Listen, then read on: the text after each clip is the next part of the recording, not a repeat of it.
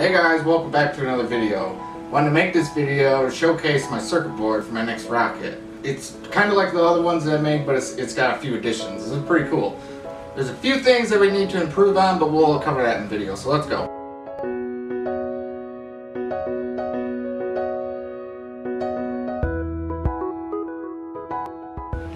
Okay, so this circuit is meant to record data while the rocket is in flight and deploy the parachute at apogee.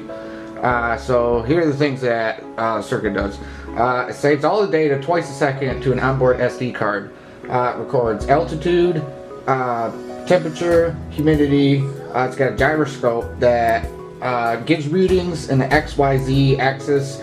tells tells me if the rocket flew straight or spun or basically where it's at in 3D space. The accelerometer uh, also reads an XYZ axis, uh, tells me in three dimensions where the acceleration was.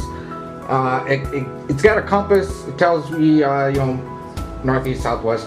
Uh, it's got GPS capability, it gives us speed, time, real time, GPS lock, um, and the coordinates. Um, it's got a wireless card which allows me to transmit information up to 400 feet and it's meant to be to custom-made controller which uh, displays the relevant information.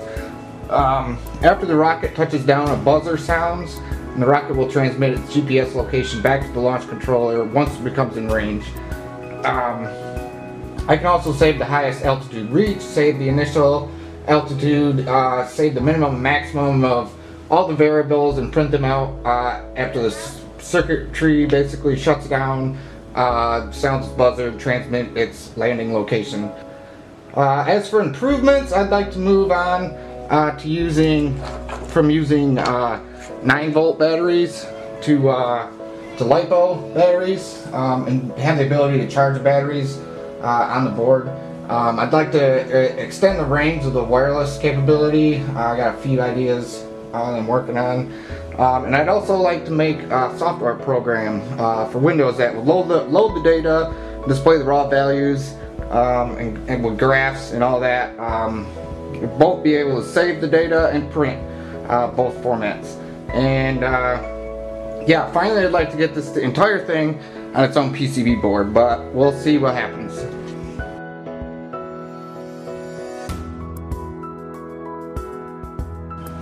So in the beginning, this idea first came about was focused around a handheld wireless launch controller that could send wireless data back to the controller while in range. Um, it's got a power button. Uh, this button here was it was meant to display uh, the range, what your range is, or reception pretty much. Um, launch button, of course. Uh, you need the toggle switch and the key to uh, to arm the system. It's got the LEDs that indicate what uh, what stage that the controller's in. And then uh, it displays out on on this uh, what is it? It's like a 4x32 or 32 by 4 I, I I'm not sure. Can't remember. Um, but this one this module both it's it uses uh, 9 volt batteries and I want to get moved to the bulbs like a better one. Uh, an extended inner or external um, antenna on the back. Um, and then like a charging port uh, where you can plug in your LiPo battery charger. So anyways guys, uh, all this has come a long way in the past year. Uh, these are like my prototypes. Um, I think they're actually pretty cool and so I thought I'd showcase them in this little video. Um, especially this guy before uh, it gets inside a rocket. Um, once it's inside a rocket, its fate is unknown. Uh, and hey, if you guys are still watching this far, I guess I just wanted to say thanks for watching really fun, cool hobby. I enjoy it very much. Um, it looks like you probably do too. So, hey, thanks again. Please subscribe for more YouTube content like this. Press the like button if you like this video. Share it with your friends and on your social media outlets.